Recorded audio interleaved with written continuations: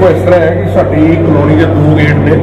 ਇੱਕ front gate ਹੈ, ਇੱਕ ਪਿੱਛੇ ਬੈਕ ਗੇਟ ਹੈ ਜਿਹੜਾ ਬੈਕ ਵਾਲਾ ਗੇਟ ਹੈ, ਉਹ ਜ਼ਿਆਦਾਤਰ ਜਿਹੜੇ ਸਾਡੇ ਜਿਹੜੇ ਸਾਡੇ ਜਿੰਨੇ ਵੀ ਲੇਬਰ ਸਾਡੇ ਕਲੋਨੀ 'ਚ ਮੇਡਸ ਆਉਂਦੀਆਂ, ਜਾਂ ਕੋਈ ਕਾਰ ਵਾਸ਼ਿੰਗ ਵਾਸਤੇ ਆਉਂਦੇ ਆ, ਜਾਂ ਸਾਡੇ ਲੇਬਰ ਜਿਹੜੀ ਆਉਂਦੀ ਹੈ, ਉਹ ਸਾਰੇ ਉਹ ਗੇਟ ਜਿਹੜਾ ਯੂਜ਼ ਹੋ ਰਿਹਾ ਉਹਦੇ ਵਾਸਤੇ। ਉਹ ਅੱਜ ਨਹੀਂ, ਪਿਛਲੇ ਘੱਟੋ ਘੱਟ 10 12 ਸਾਲ ਤੋਂ ਗੇਟ ਲੱਗਾ ਆ ਪਰਮਾਨੈਂਟ ਗੇਟ ਹੈ। ਲੰਗਾ ਪੂਰੀ ਤਰ੍ਹਾਂ।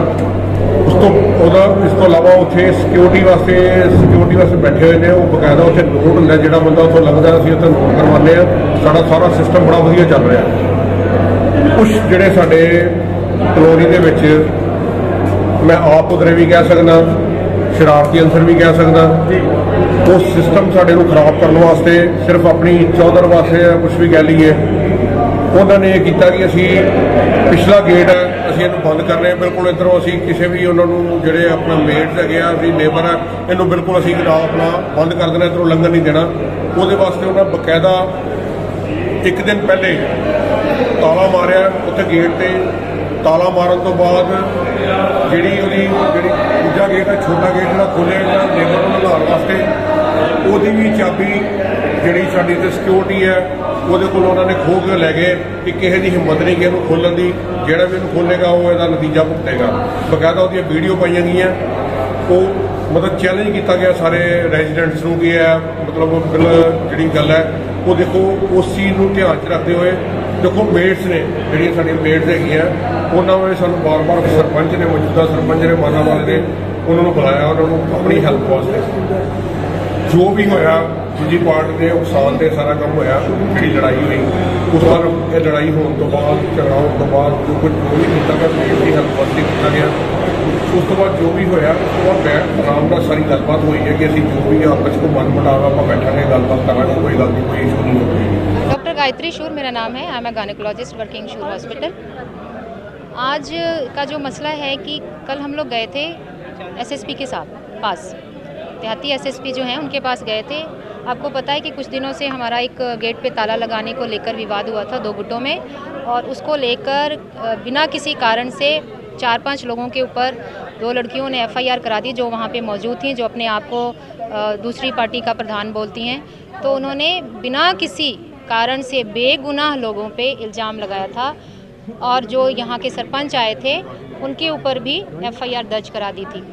तो उसके लिए हम इंसाफ मांगने के लिए और उनको छुड़ाने के लिए हम लोग एसएसपी से मिलने गए थे। तो उन्होंने बोला कि आज आपको हम मिलने आएँगे। तो आज वही लोग आए हैं और वही उसी के लिए हम सब लोग इकट्ठे हुए हैं इंसाफ के लिए। क्या आश्वासन दिया साहब अभी तो मेरी उनसे मुलाकात नहीं हुई। उन्होंने जो दो लड़कियाँ थी उसकी बात सुनी है और टाइम एक एक सेकंड दो सेकंड की बातें करके चले गए हैं वो। They are not listening us अभी जब वो आएँगे हमारी बातें सुनेंगे होपफुली तो हम उनसे बात कर पाएँगे। अभी सुबह साढ़े दस ग्यारह बजे का टाइम था वो आ गए अपने टाइम पर और अभी तक हमारे पास नहीं आए हमारी बात सुनने नहीं है। तो अभी तक तो बुलाया नहीं है सर। अभी एक चश्मदीद गवाह थे आंटी उनसे बात हुई है उनकी वो एक सेकंड उन्होंने सुना है बस और ये जो कुछ मेड में से एक मेड को बुला के उन्होंने उनकी बात सुनी है। बट इतनी सारी जो जनता खड़ी है सपोर्ट में अभी हमारे साथ उन्होंने कोई बात नहीं की। लगता है आपको इंसाफ मिलेगा देखिए जी सुप्रीम कोर्ट पे हमारा विश्वास है भारत की न्यायपालिका पे हमारा पूरा विश्वास है और सच पे हमारा विश्वास है। तो हमें लगता है कि हमें इंसाफ मिलेगा। अगर पर्चा रद्द नहीं किया जाता आपकी मांग नहीं मानी जाती तो अगला स्टेप क्या होगा? सर अगला स्टेप लीगली हम लेंगे। जो भी जो भी हमें एडवाइस होगा हमारे सीनियर एडवाइस करेंगे। हमें अगर कोर्ट जाना पड़ेगा सर हम कोर्ट जाएँगे। हम सुप्रीम कोर्ट तक जाएँगे। हमारी हमारी मांग को या हमें कम ना आका जाए। क्योंकि ये जो बेगुनाह लोग फंसाए गए अगर थोड़ा भी गुनाह होता तो आप जानते हैं कोई भी लेडी किसी के साथ नहीं होती। इतनी सारी लेडीज़ और पूरी ड्रीम सिटी सबके साथ है उन लोगों के साथ है। ये उनकी बेगुनाही का हंड्रेड परसेंट से भी ज़्यादा का सबूत है। लगता था आपको कि बैठ कर मसला सुलझा देना चाहिए था मतलब कि इतना बड़ा इशू का बनाना चाहिए था? सर इशू तो उन्होंने बनाया ना जिन्होंने एफआईआर कराई। हमारे साथ तो कोई प्रॉब्लम ही नहीं थी। उन्होंने उनकी पार्टी क्या गेम खेल रही थी वी डोंट नो हम तो एक सिंपल से लोग हैं। ताला बंद किया है तो अब क्यों ताला बंद किया? पहली बात तो ताला बंद करने वाले होते कौन है वो लोग?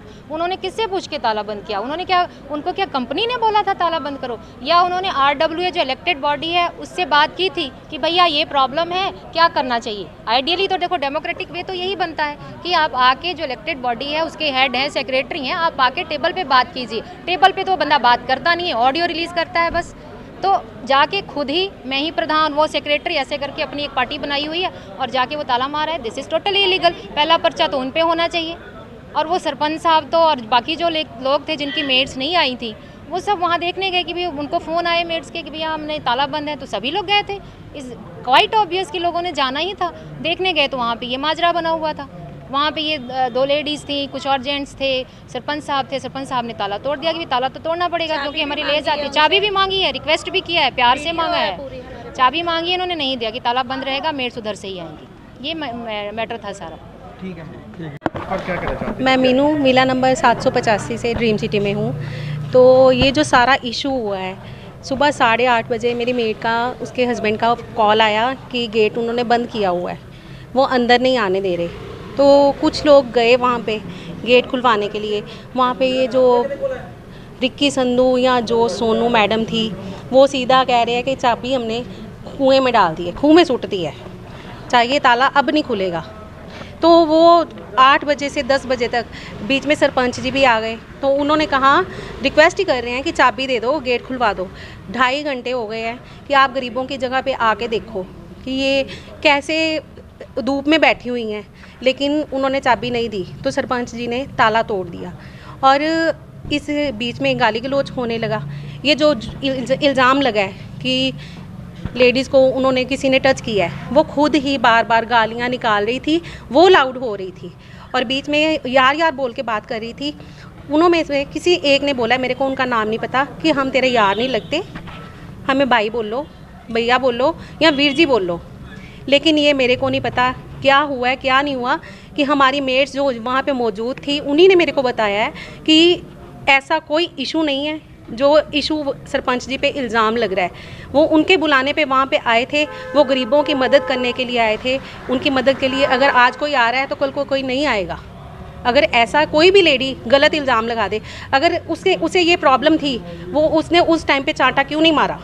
कोई भी इज्जतदार लड़की होगी, कोई बड़ी उम्र की होगी या छोटी उम्र की होगी, ऐसी हरकत होगी तो उसी टाइम पे उसको चांटा मारना चाहिए था। वो किस चीज़ का इंतज़ार कर रही थी ਹਾਂਜੀ ਸਰ ਕੀ ਮਸਲਾ ਜਿਹੜਾ ਡੀਲ ਕੀਤਾ ਹੈਗਾ ਜੀ ਡ੍ਰੀਮ ਸਿਟੀ ਦਾ ਇੱਕ ਛੋਟਾ ਜਿਹਾ ਮਸਲਾ ਸੀਗਾ ਜਿਹਨੂੰ ਇਹ ਆਮ ਅ, ਜਿਹੜੇ ਲੋਕ ਇੱਥੋਂ ਦੇ ਰਹਿਣ ਵਾਲੇ ਇਹਨਾਂ ਦਾ ਆਪਸੀ ਮਾੜਾ ਮੋਟਾ ਮਨਮਟਾਪ ਹੋ ਗਿਆ ਸੀਗਾ ਉਹ ਗੇਟ ਤੋਂ ਥੋੜਾ ਜਿਹਾ ਸੀਗਾ ਉਹ ਮੌਕਾ ਵੇਖਣ ਆਏ ਆ ਜੋ ਵੀ ਮਸਲੇ ਦਾ ਹੱਲ ਹੋਊਗਾ ਛੇਤੀ ਕੱਢੇਗਾ ਸਰ ਇਹਨਾਂ ਦਾ ਕਹਿਣਾ ਕਿ ਜਿਹੜਾ ਨਜਾਇਜ਼ ਹੋਈ ਜੀ ਪੱਟਾ ਕੱਟਿਆ ਗਿਆ ਇਹਦਾ ਹੈਗਾ ਉਹ ਇਨਵੈਸਟੀਗੇਸ਼ਨ ਦਾ ਪਾਰਟ ਹੈ ਜੀ ਉਹ ਅਸੀਂ ਬਾਅਦ ਚ ਵੇਖਾਂਗੇ ਫਿਲਹਾਲ ਅਸੀਂ ਮੌਕਾ ਵੇਖਣ ਆਏ ਸੀਗੇ। ਮੌਕਾ ਵੇਖ ਲਿਆ ਗੇਟ ਦਾ ਜਿਹੜਾ ਤਲਾ ਤੋੜਿਆ ਸੀਗਾ। ਉਸ ਤੋਂ ਬਾਅਦ ਜਿਹੜਾ ਨੈਕਸਟ ਜਿਹੜਾ ਸਟੈਪ ਆ ਉਹ ਅਗਲਾ ਫਰਦਰ ਇਨਵੈਸਟੀਗੇਸ਼ਨ ਬਾਅਦ ਚ ਕਰਾਂਗੇ। ਜਿਹੜਾ ਦਰਜ ਹੋਇਆ ਕਾਲੀ ਨਹੀਂ ਕੀਤੀ ਜ਼ਿਆਦਾ? ਵੇਖੋ ਜੇ ਆਪਾਂ ਪਰਚਾ ਨਹੀਂ ਦਰਜ ਕਰਦੇ ਫਿਰ ਤੁਸੀਂ ਕਹਿੰਦੇ ਹੋ ਲੇਟ ਹੁੰਦਾ। ਜੇ ਹੁਣ ਕਰਤਾ ਤੇ ਕਾਲੀ ਵਾਲੀ ਤੇ ਕੋਈ ਗੱਲ ਨਹੀਂ ਹੈ ਜੇ ਕੋਈ ਫਸਟ ਇਨਫੋਰਮੇਸ਼ਨ ਆਉਂਦੀ ਹੈ ਐਸਐਚਓ ਦਾ ਕੰਮ ਆ ਕਿ ਉਹ ਐਫ ਲਾਂਚ ਕਰਨਾ ਠੀਕ ਹੈ ਜੀ? ਇਹ ਸੁਪਰੀਮ ਕੋਰਟ ਦੀਆਂ ਹਦਾਇਤਾਂ ਨੇ। ਸੋ ਇਸ ਕਰਕੇ ਕਾਲੀ ਵਾਲੀ ਕੋਈ ਗੱਲ ਨਹੀਂ ਹੈ ਇਨਵੈਸਟੀਗੇਸ਼ਨ ਸਾਡੀ ਫਰਦਰ ਆਨ ਹੈ। ਦਰਖਾਸਤ ਦੇ ਮੁਤਾਬਕ ਸੀਗਾ ਉਹਨਾਂ ਨੇ ਕਿਹਾ ਵੀ ਤੇ ਪਿਸਤੌਲ ਲਹਿਰਾਇਆ ਗਿਆ ਜਾਂ ਵੇਖੋ ਜੀ ਲੇਡੀ ਦੀ ਸਟੇਟਮੈਂਟ ਤੇ ਪਰਚਾ ਦਰਜ ਹੋਇਆ ਉਹ ਅਸੀਂ ਇਨਵੈਸਟੀਗੇਸ਼ਨ ਕਰ ਰਹੇ ਹਾਂ ਬਾਅਦ ਚ ਦੱਸਾਂਗੇ।